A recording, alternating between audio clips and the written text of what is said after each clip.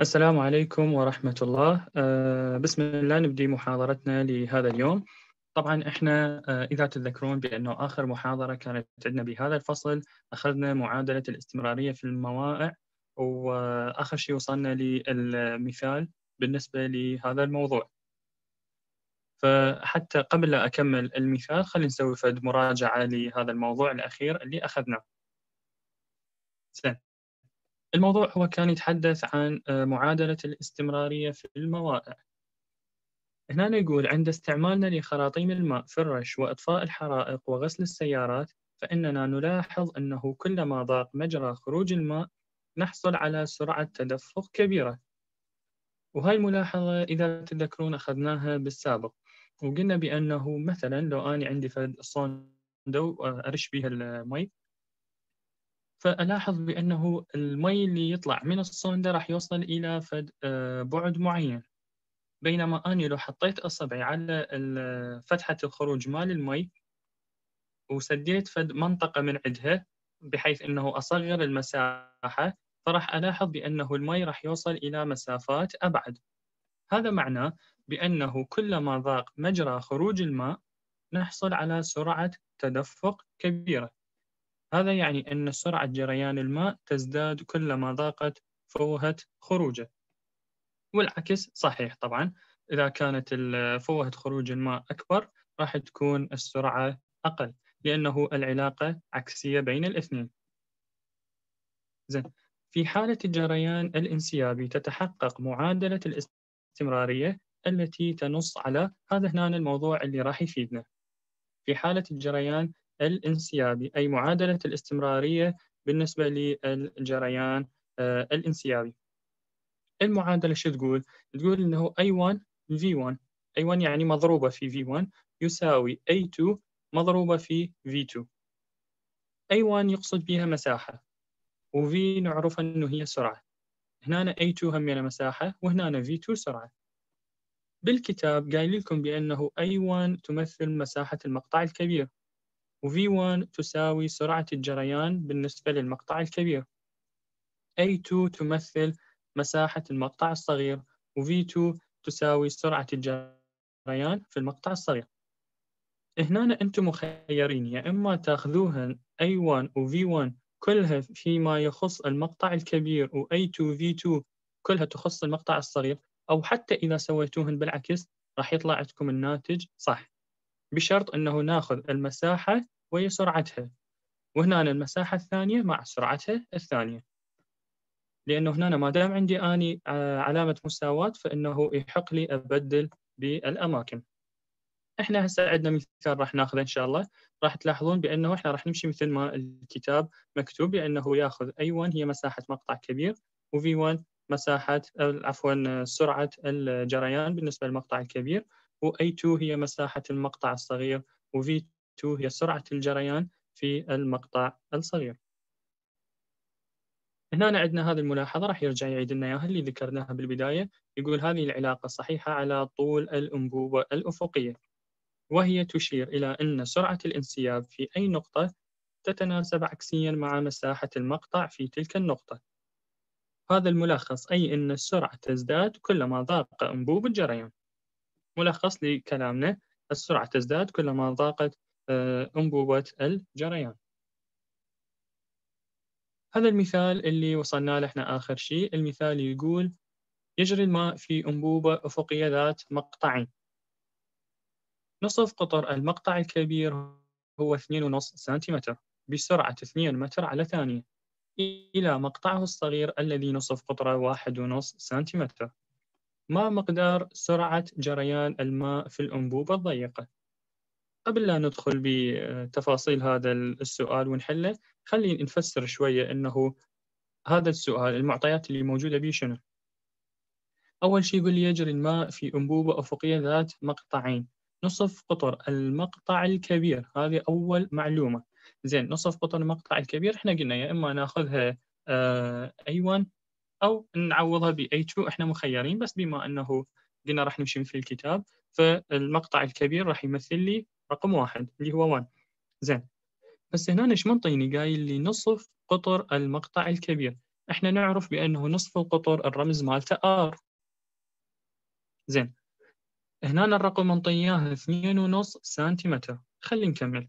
يقول بسرعة منطينا إياها 2 متر على ثانية. فإذا هنا عندي V1 هذا هنا V1 يمثل لي آه، السرعة سرعة جريان الماء في المقطع الكبير 2 متر على ثانية.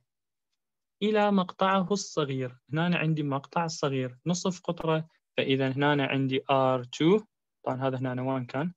R2 منطيني إياها واحد ونص سنتيمتر. ما مقدار سرعة جريان الماء في الأنبوبة الضيقة. ما مقدار سرعة جريان الماء في الأنبوبة الضيقة؟ يعني شو يريد من عندي؟ يريد من عندي V2 بالأنبوبة الضيقة. عندي V1 يريد من عندي V2 زين. أول شيء إحنا قلنا نشوف الوحدات مالتنا. الوحدات هنا منطيني سنتيمتر. هذا هنا منطيني إياها سنتيمتر. وهنا سنتيمتر. بس هذا هنا عندي بالمتر. هنا أنتم مخيرين. يا إما تحولون السنتيمتر ذني اثنيناتهم تحولوهن إلى المتر. يا إما بس هذا المتر نحوله إلى سنتيمتر. وطبعا إذا حولت هذا المتر إلى سنتيمتر راح يكون أسهل. نطلع الناتج بوحدات السنتيمتر وبعدين نحولها عود بالأخير. آه، الطريقة اللي نستخدمها بالكتاب هي نفس الشيء أنه راح يحول بس المتر يحوله إلى سنتيمتر. راح نحوله بعدين لما نوصل له بتسلسل الخطوات. زين. ملاحظة ثانية أنه إحنا القانون الرئيسي مالتنا قلنا بأنه القانون هو A1 V1 يساوي A2 V2 زين لو أجي أشوف المعطيات اللي موجودة بالسؤال ما منطيني A1 ولا منطيني A2 منطيني فقط نصف القطر. هنا أنا لازم أستنتج بأنه أشوف هذه الأنبوبة اللي موجودة هنا بما أنه المقطع الصغير هو دائري والمقطع الكبير أيضا دائري فإذا أستخدم مساحة الدائرة. زين مساحة الدائرة شو تساوي لي؟ مساحة الدائرة تساوي pi R تربيع. فبالتالي راح أجي أعوض بمكان كل A أعوض عنها pi R تربيع. هذا A1 و A2 أعوض عنها pi R2 تربيع. خلينا نجي نطلع أول وحدة المساحة الأولى. المساحة كنا pi R1 تربيع. ال pi هو آه، النسبة الثابتة هي قيمة لازم إحنا حافظيها اللي هي 22 على 7 أو 3 فارزة 14 طبعا أنتم هذا مخيرين بها يا إما تختارون 22 على 7 أو 3.14 اثنيناتهم راح يعطيني نفس الناتج. في R1 تربيع اللي هو قلنا آه، نصف قطر المقطع الكبير. فايش راح يصير عندي؟ راح يصير 22 على 7 في نصف قطر المقطع الكبير هو 2 ونص تربيع زين. هذا التربيع منين إجاني؟ إجاني من نص القانون الرئيسي. لأن هي pi R تربيع فإذا ال R أعوضها كرقم وبعدين أحط لها التربيع. اللي هنا نعوفه. ما راح أطلع ناتج بعدين راح تفهمون ليش إنه هنا ما طلعت الناتج. زين. آه A اثنين المساحة الثانية أيضا راح تساوي pi R 2 تربيع اللي هي 22 على 7 مضروبة في R 2 تربيع. زين 22 على 7 نزلناها في آر 2 تربيع هي واحد ونص مثل ما قايل لي بالسؤال إلى مقطعه الصغير الذي نصف قطره واحد ونص سنتيمتر. فإذا راح يكون عندي 22 على 7 في واحد ونص تربيع. وهنا همينا هذا التربيع هو إجاني من القانون الرئيسي اللي موجود بالمساحة. وراح أعوف الرقم مثل ما هو ما راح أطلع ناتج.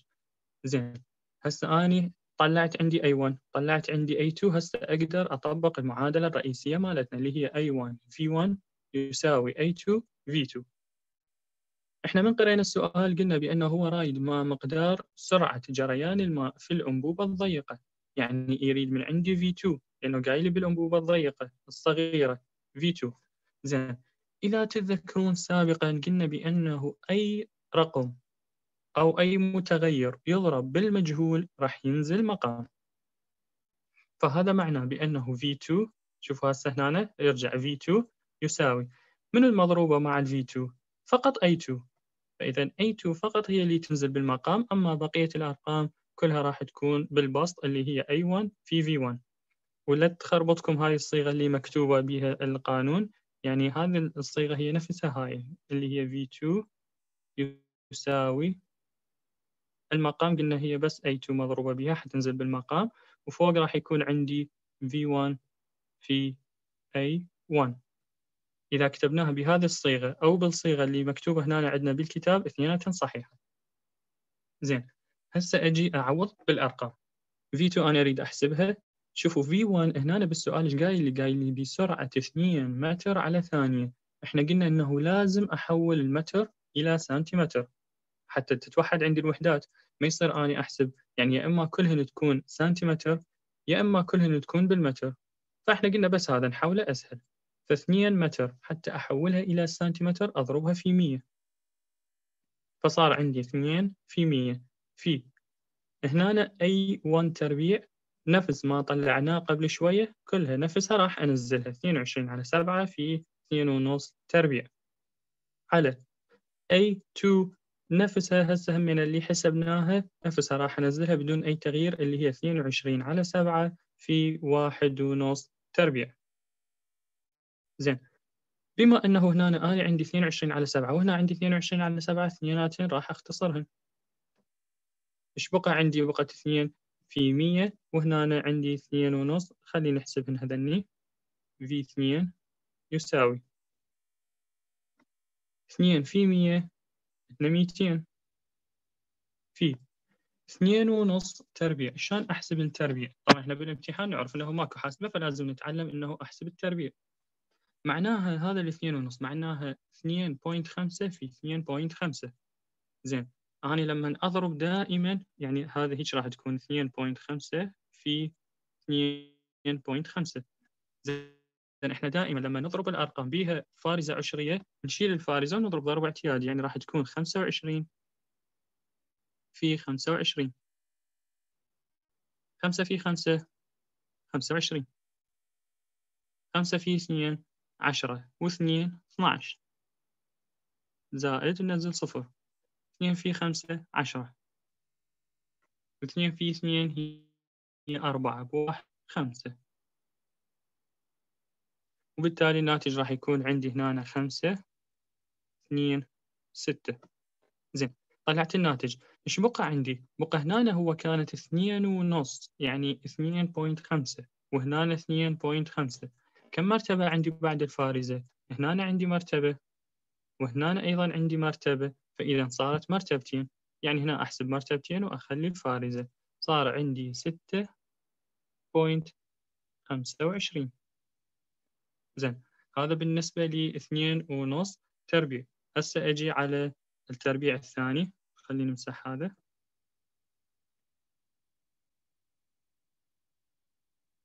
نجي على الرقم اللي بعده اللي هو واحد ونص تربيع. ونفس العملية. أنا عندي واحد point خمسة. في واحد point خمسة. شلون أطلع الناتج مالتهم؟ قلنا نضربهم بدون الفارزة. فيكون 15 في 15 خمسة في خمسة خمسة وعشرين. خمسة في واحد خمسة. واثنين سبعة. زائد نزل صفر. واحد في خمسة خمسة. والواحد في واحد هو واحد.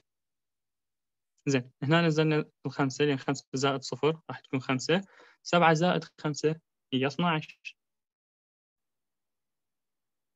واحد زائد واحد راح يكون اثنين. زين. هنا كم مرتبة كانت عندي بعد الفارزة؟ هنا عندي مرتبة وهنا عندي مرتبة. إيش قد صار المجموع صار مرتبتين. إذا أحسب مرتبتين وأخلي الفارزة. الناتج راح يكون اثنين بوينت خمسة وعشرين. حتى أطلع بعد الناتج النهائي لهذه العملية.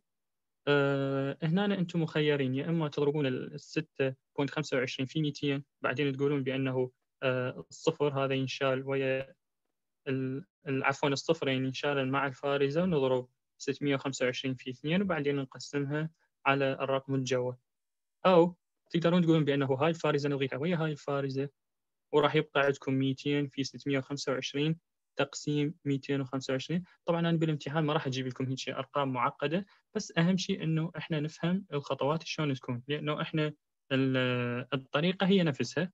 بس نغير بالأرقام نحاول إنه شوي نبسطها. بعد هذه العملية هذا هنا الضرب والقسمة اللي راح تكون عندي راح يطلع تقريبا 555 طبعا هو مو بالضبط 555 بس تقريبا 555 سنتيمتر على آه على ثانية. خلينا نمسح هذا. هذا آخر شيء الناتج النهائي راح يكون عندنا 55 سنتيمتر على ثانية. زين حتى أحول السنتيمتر إلى متر أقسمها على 100 فأقول يعني هيك راح تصير عندي 555 على 100 بالتالي راح تاخذ مرتبتين بعد الفارزة فراح يطلع عندي 5.55 متر على ثانية. هذا في حال أنه استخدمت هذه الطريقة وقلت بأنه المتر اللي كانت السرعة الأولية اللي موجودة بالسؤال حولناها إلى متر. شوفوا هنا إذا تذكرون بالبداية إيش قلنا؟ قلنا بأنه هذه السرعة راح أحولها إلى سنتيمتر. أما إذا أنتم من البداية حولتوا هذا إلى متر وهذا إلى متر فآخر شيء راح يطلع لكم. المفروض الناتج تقريبا يطلع 5.55 ما راح تحتاجون الخطوة الأخيرة مال التحويل. زين. لهنا خلص هذا المثال. نرجع نسوي فد مراجعة سريعة. المثال يقول يجري الماء في أنبوبة أفقية ذات مقطعين. نصف قطر الأول أو عفوا نصف قطر المقطع الكبير منطينياه اثنين ونص سنتيمتر. بسرعة اثنين متر على ثانية. إلى مقطعه الصغير الذي نصف قطرة واحد ونص سنتيمتر. ما مقدار سرعة جريان الماء في الأنبوبة الضيقة؟ يعني يريد V في الأنبوبة الضيقة يعني V2 قلنا بالبداية إحنا هذا القانون الرئيسي مالتنا اللي هو A1 V1 يساوي A2 V2 زين المساحة ما منطيني إياها لا A1 ولا A2 فشلون أطلعهن؟ أطلعهن من الرسم اللي موجود عندي. بالرسم قايل لي بأنه الفتحة الصغيرة أو آه، المقطع الصغير هو شكله دائري والمقطع الكبير هو شكله دائري أيضا. فإذا أقدر أستخدم مساحة الدائرة اللي هي باي R تربيع. خلي أكمل وأرجع لك على صفحة 42 آه فهنا أنا راح أقول بأنه أستخدم ال A تساوي باي R1 تربيع و A2 تساوي باي R2 تربيع. الباي قلنا هي النسبة الثابتة إحنا المفروض حافظيها اللي هي 22 على 7 في R1 تربيع اللي منطيني إياها بالسؤال تمثل لي نصف قطر المقطع الكبير فيصير 22 على 7 في 2.5 تربيع. A اثنين يساوي نفس العملية 22 على 7 في R 2 تربيع اللي هي آه، نقصد بها المقطع الصغير فيكون 22 على 7 في 1.5 تربيع. زين. القانون الرئيسي وقلنا هذا هنا أنا ما طلعت الناتج مالته لأنه بالأخير راح يكون عندي اختصار. أختصره يكون أفضل. وطبعا إذا طلعتوا ناتج هنا هو ما بها مشكلة بس إنه الأرقام راح تكون عليكم شوية أصعب لأنه راح يكون الرقم أكبر. فإحنا نعوفه بالأخير حتى نختصرهن نخلص منهن القانون الرئيسي مالتي هو A1 V1 يساوي A2 V2 أنا أريد أحسب V2 فأي شيء يضرب بالمجهول ينزل مقام. زين. V2 يساوي هسه المضروب ويا المجهول منه A2 ف A2 هذا نزل عندي اللي هي المساحة الثانية المساحة الصغيرة. تنزل جوا والبقية راح تكون فوق بالبسط اللي هي V1 في A1 أجي أنزل هسه الأرقام مالتنا. V2 يساوي هنا بما أنه راح أنزل V1 ف V1 موجودة بالسؤال 2 متر على ثانية.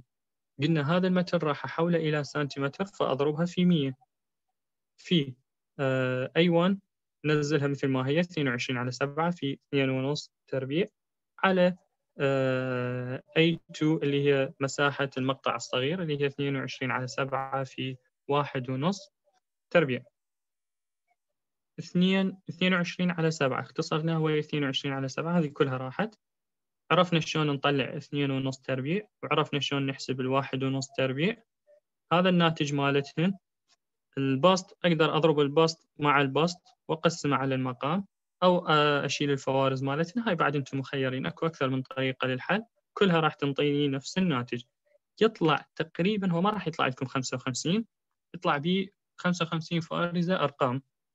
فإحنا تقريبا أخذنا 555 سنتيمتر على ثانية.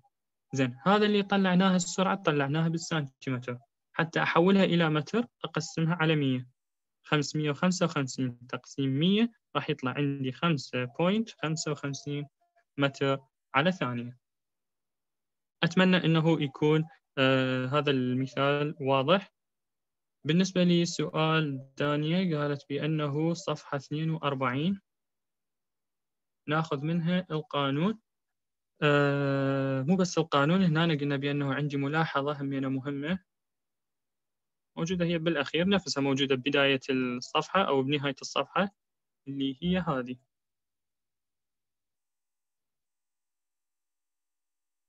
هنا تشير إلى أن سرعة الانسياب في أي نقطة تتناسب عكسيا مع مساحة المقطع في تلك النقطة أي أن السرعة تزداد كلما ضاقت أنبوبة الجريان هذه جدا مهمة.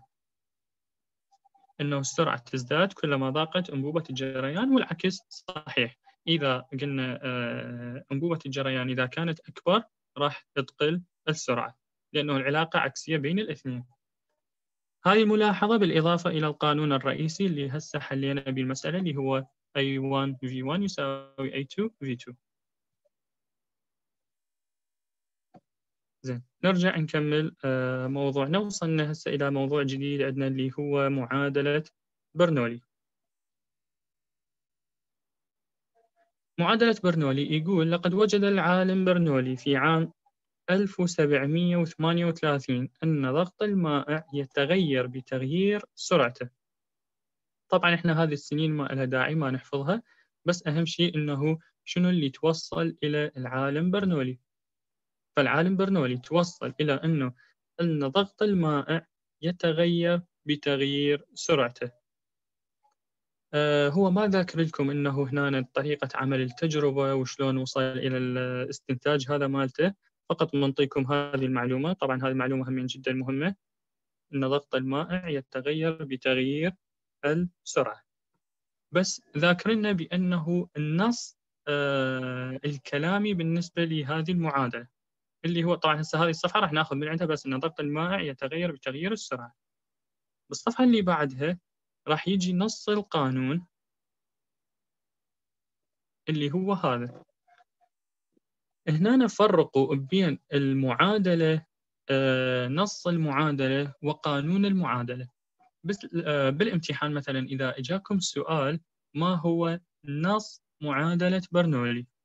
إذا قلت لكم أريد النص فهذا معناه أنه أريد القانون كلاميا. إذا قلت لكم أريد قانون معادلة برنولي فالقانون راح يكون الرياضي. فسنجي واحد واحد. أول شيء راح نجي على نص معادلة برنولي. نص المعادلة يقول بأن مجموع الضغط والطاقة الحركية لوحدة الحجوم والطاقة الكامنة الوضعية لوحدة الحجوم تساوي مقدار ثابت في النقاط جميعها على طول. مجرى المائع المثالي.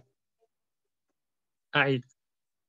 مجموع يعني هنا أكيد أنه أنا عندي علامة جمع يعني زائد.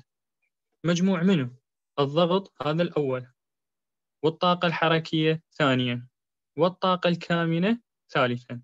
إذا خلوا ببالكم ثلاث شغلات هي إلها مجموع مجموع الضغط والطاقة الحركية والطاقة الكامنة لوحدة الحجوم. هذني ثلاثة تشبيهن إلى أجمعهن تساوي مقدار ثابت في النقاط جميعها على طول مجرى المائع المثالي.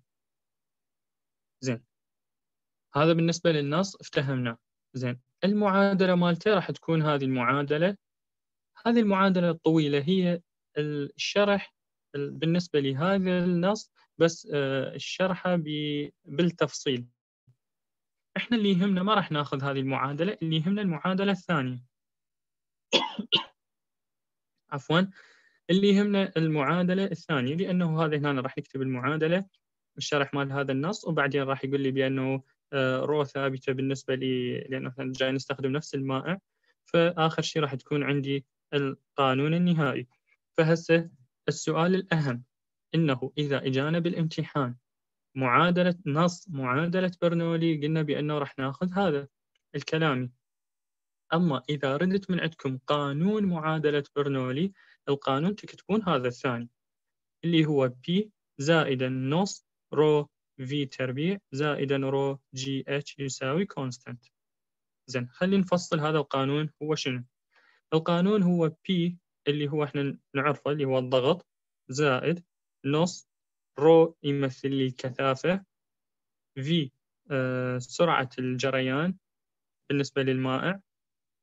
هنا رو هي الكثافة. G راح يمثل لي التعجيل الأرضي. وهذا التعجيل الأرضي مرات أنطيه بالسؤال مرات ما أنطيه المفروض آه أنتم حافظيه. إذا ذكرنا بالسؤال فنستخدم الجي اللي موجود بالسؤال. أما إذا ما نطيتكم قيمة التعجيل الأرضي فأنتم مخيرين يا إما تستخدموها 10 يا إما تستخدمون 9.8 شوفوا أنتم شنو اللي يناسبكم وشنو اللي يناسب حل هذا السؤال حتى يكون أسهل. تستخدموها.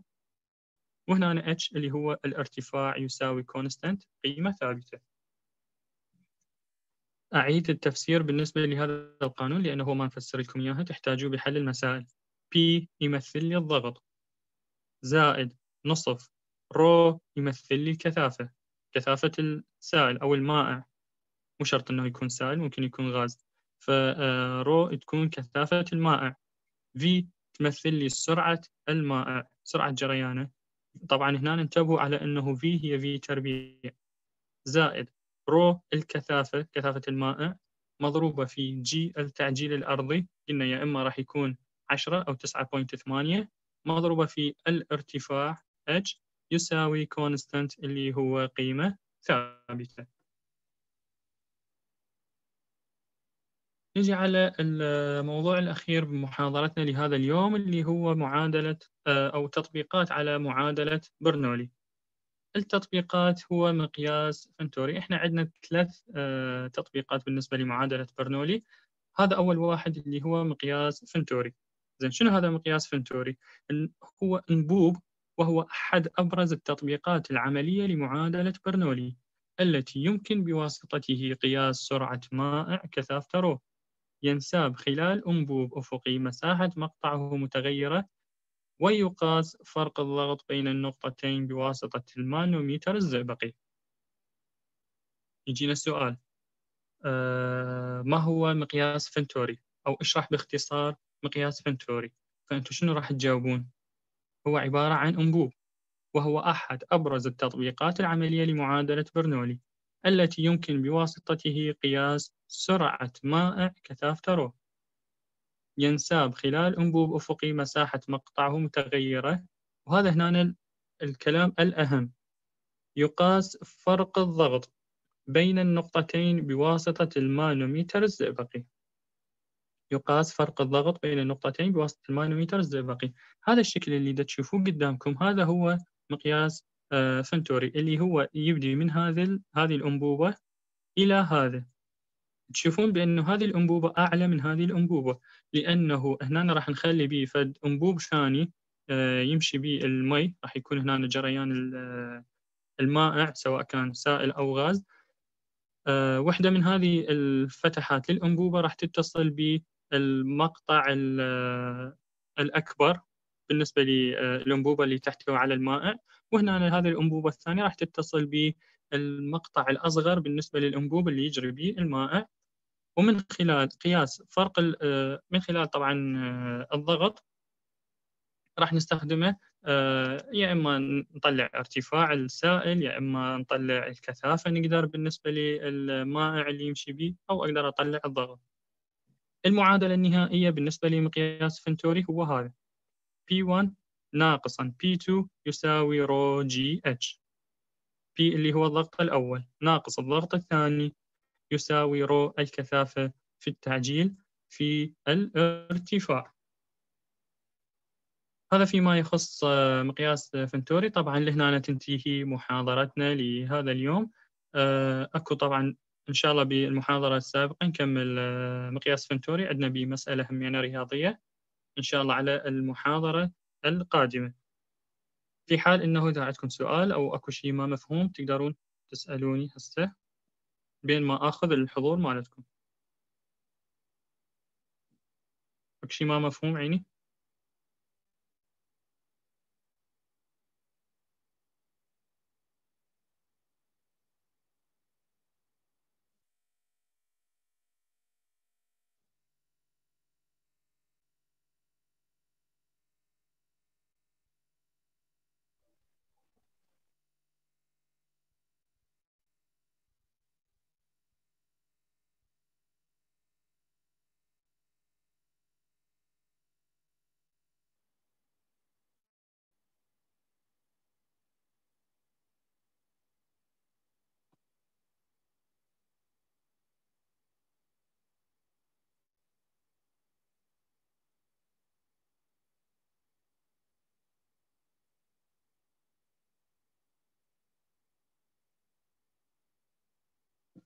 زين.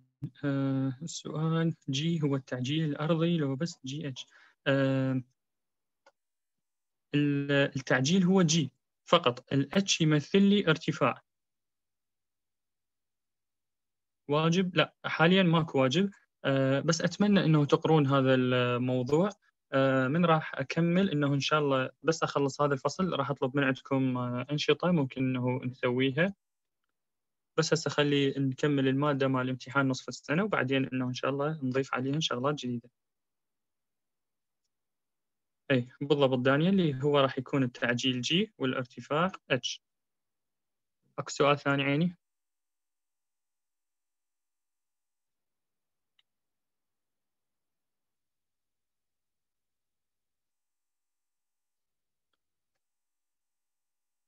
زين.